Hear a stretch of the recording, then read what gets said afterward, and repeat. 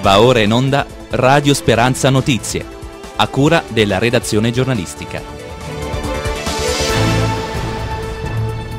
Buona giornata a tutti voi da Massimiliano Spiriticchio in studio e da tutti noi di Radio Speranza in Blu, la radio della Chiesa diocesana di Pescara Penne. Il presidente della Regione Abruzzo Marco Marsiglio ha firmato l'ordinanza con cui la nostra eh, regione delinea il rientro in zona arancione.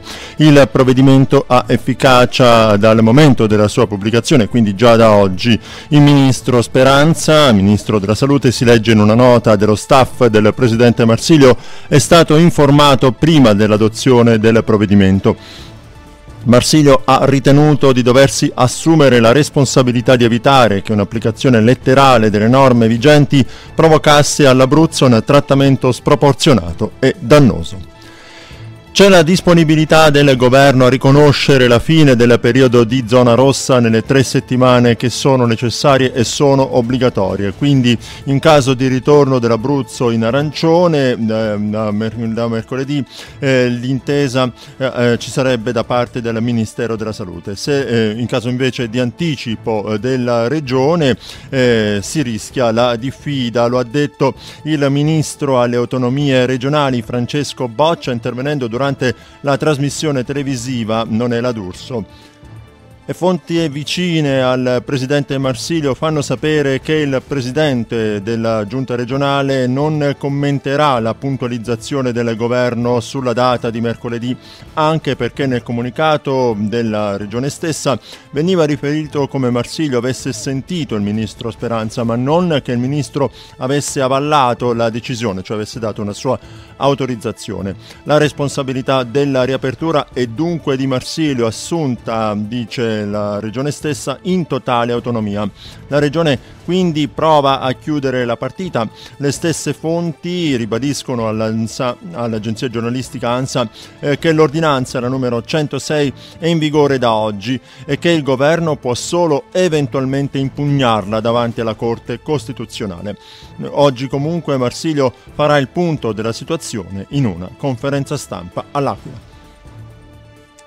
Le principali differenze tra zona rossa e zona arancione riguardano la riapertura di tutti gli esercizi commerciali e la possibilità di circolare senza autocertificazione all'interno del proprio comune, anche se resta raccomandato di evitare spostamenti non necessari.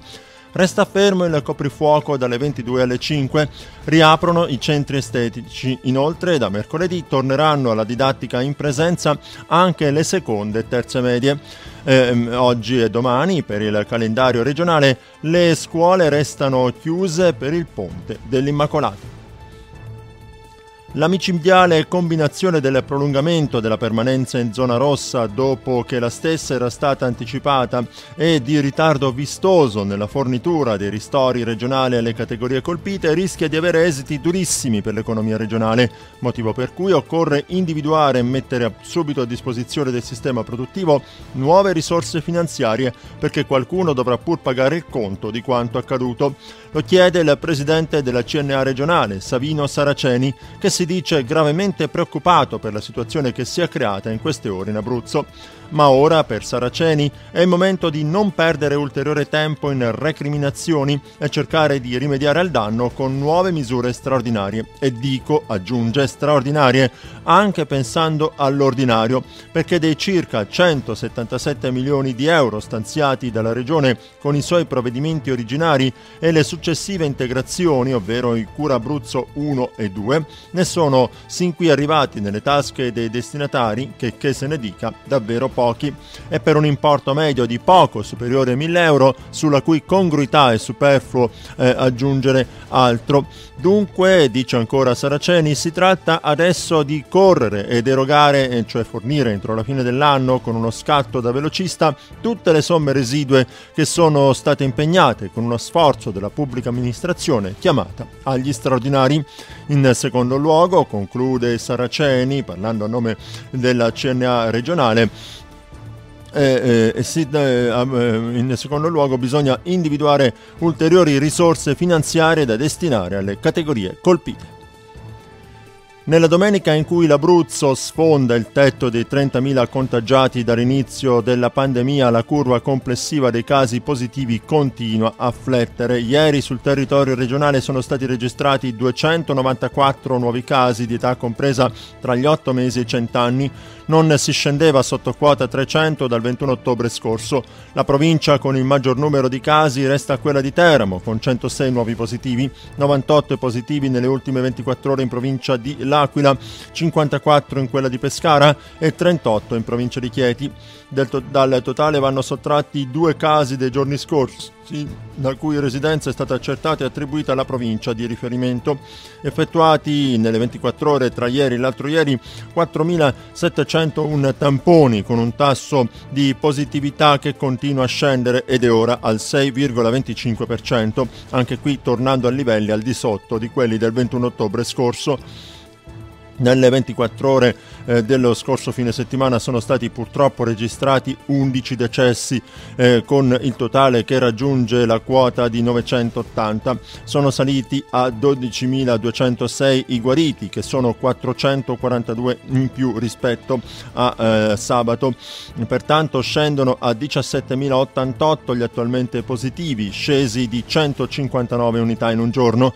Cala sia pur lentamente il carico sugli ospedali, scendono a 667, 8 in meno i pazienti ricoverati nei reparti, mentre sono 71 quelli assistiti in terapia intensiva, 2 in meno nelle 24 ore tra ieri e sabato diminuito progressivamente anche il numero dei positivi in isolamento domiciliare, attualmente fermo a quota 16.350. Prorogata alla giornata di oggi l'attività di screening sulla popolazione del comune di L'Aquila. Lo ha stabilito il sindaco aquilano Pierluigi Biondi con l'ordinanza firmata nel primo pomeriggio di ieri da ieri e fino appunto alle 17 del pomeriggio eh, sono stati effettuati 4.794 tamponi che portano in totale a, 2, a 21.671 con 12 positivi, 52 in totale dall'inizio delle attività di screening e due dubbi fino ad ora eh, 14 quelli dubbi in totale. Il 22 settembre circa 24.000 aspiranti medici specialisti hanno sostenuto il concorso SSM 2020. Il 5 ottobre doveva essere resa pubblica la graduatoria sul portale Universitali e nei giorni successivi, una volta compilata la scelta delle preferenze, sarebbe stata comunicata la sede di assegnazione dei singoli candidati vincitori, circa 14.000. A causa di diversi ricorsi, alcuni riguardanti il bando ed altri le domande somministrate durante il quiz a risposta multipla, multipla, si è incappati invece in una serie di rinvii che hanno portato di mese in mese allo slittamento delle assegnazioni.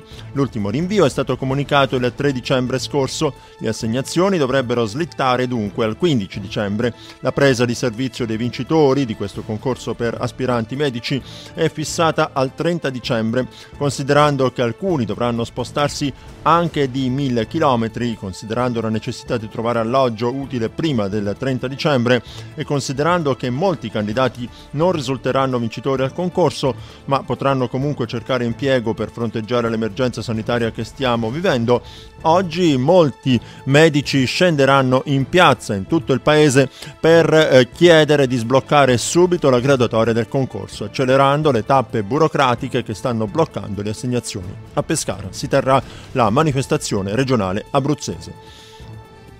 E siamo al meteo non senza aver detto che in questo lunedì 7 dicembre la Chiesa celebra eh, la eh, memoria eh, di Sant'Ambrogio Vescovo. Sulla nostra regione si prevedono condizioni iniziali di cielo poco nuvoloso nel Teramano, nel Pescarese e nel Chietino, mentre annuvolamenti saranno presenti sulla Marsica, nell'Aquilano e sull'Alto Sangro, occasionalmente associati a precipitazioni sparse. Un graduale aumento della nuvolosità è previsto dal tardo pomeriggio sera, a iniziare dal settore occidentale orientale con possibilità di rovesci in intensificazione in tarda serata o nottata, eh, specie sulla Marsica, nell'Aquilano e sull'Alto Sangro.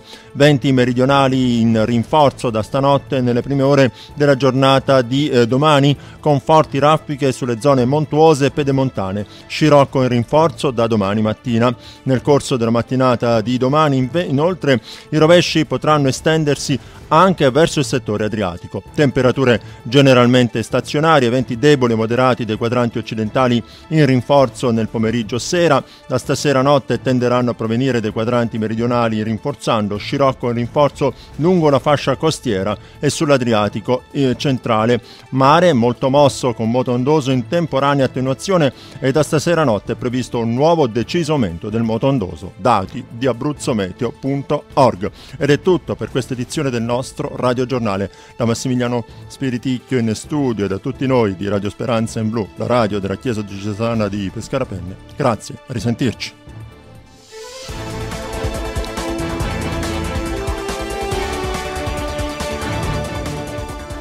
Abbiamo trasmesso Radio Speranza Notizie, a cura della redazione giornalistica.